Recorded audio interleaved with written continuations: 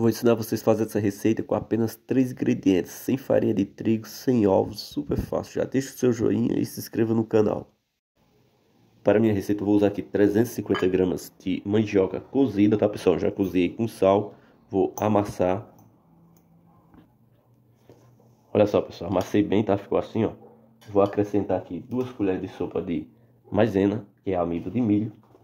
A quantidade daqui vocês colocam de acordo com a consistência aqui da, do cozimento da mandioca, tá? Mandioca, macaxeira, aipim, depende da região do nosso país, leva esse nome. Se a mandioca, a macaxeira ficou um pouco mais cozida, aí vocês acrescentam mais, um pouco mais de amido de milho.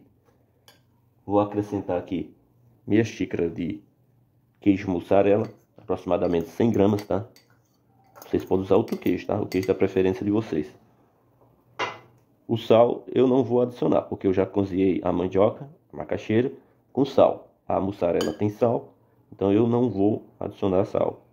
Chegar nesse ponto, ó, vou misturar com as mãos para agregar bem, tá? Olha só, pessoal, o ponto é esse aqui, ó. Fica bem consistente, vou pegar um pouco assim, ó. É muito simples. Vou fazer uma bolinha e vou achatar nesse formato aqui, ó. Redondo.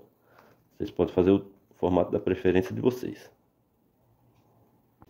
Eu untei aqui a minha frigideira, vou colocar aqui os meus lanchinhos. Vou deixar o fogo bem baixinho. Quando tiver no ponto de virar, eu volto para mostrar para vocês. Olha só, pessoal. Tá no ponto de virar. Vou fazer todos. Daqui a pouco eu volto para mostrar para vocês. Todos prontos.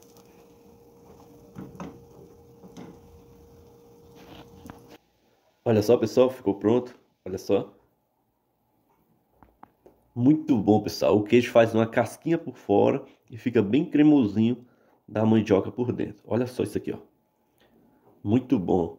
Se vocês gostaram do vídeo, não esquece de dar aquele joinha, se inscreve também no meu canal e ativa o sininho para receber as notificações de todos os vídeos que eu postar e compartilha também. Tchau, pessoal, e até o próximo vídeo.